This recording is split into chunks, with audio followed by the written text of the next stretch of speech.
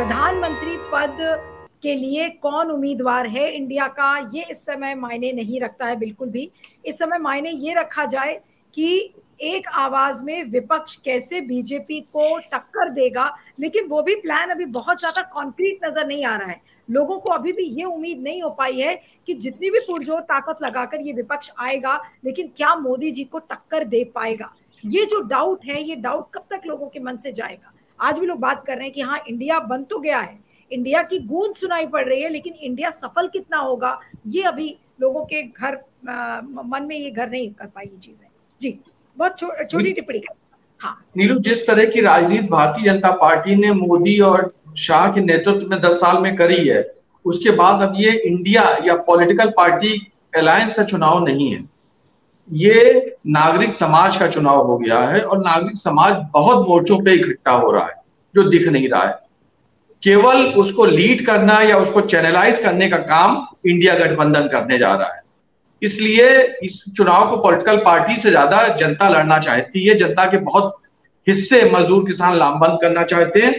और दूसरी बात जो आपने पहले कही थी, राहुल, देखिए राहुल जो है कांग्रेस के प्रतिनिधि हैं। और ये कांग्रेस तय करेगी कि कांग्रेस अगर चुनना पड़ेगा तो कांग्रेस का प्रधानमंत्री कौन होगा। अभी कांग्रेस ने भी नहीं तय किया है कि उनका प्रधानमंत्री कौन होगा। तो पूरा इंडिया गठबंधन कैसे तय कर लेगा कि उसका प्रधानमंत्री कौन होगा? राहुल कांग्रेस के बिहार पे करते हैं, राहुल अकेले नहीं करते हैं। वो पार्टी को रिप्रेजेंट करते हैं, उनकी पार्टी भी मुद्दे उठाती है।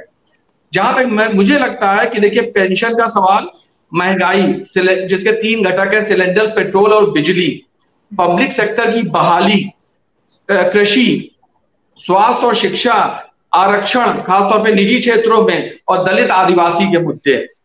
ये दलित आदिवासी अल्पसंख्यक महिलाओं के जो हैं, ये जो सात मुद्दे हैं, ये लोकतंत्र के अम्ब्रेला के तहत सिविल सोसाइटी लगातार इस पे काम कर रही है और ये मुद्दे बनने जा रहे हैं अलग अलग क्षेत्रों में अलग अलग तरीके से।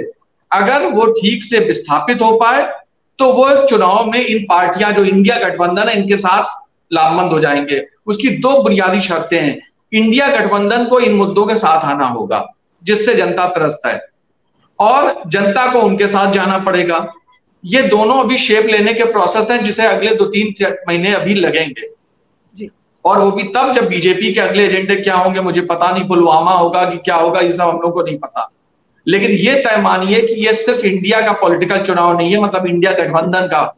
और ये नागरिक समाज का चुनाव है आज़ादी और लोकतंत्र बचाने वाले जो मूल्य हैं, वो राजनीतिक पार्टियों को बचाने वाले नहीं है, वो जजेस को, वकीलों को, शिक्षकों को, पत्रकारों को, किसानों को, मजदूरों को भी बचाना है। इसलिए जब तक ये गठबंधन मज़बूत नहीं होगा, तब तक चुनाव में जैसी तस्वीर हम लोग चाहते हैं, वो नहीं बनेगी। प्रधानमंत्री कौन होगा, ये तो बहुत बात की बात है।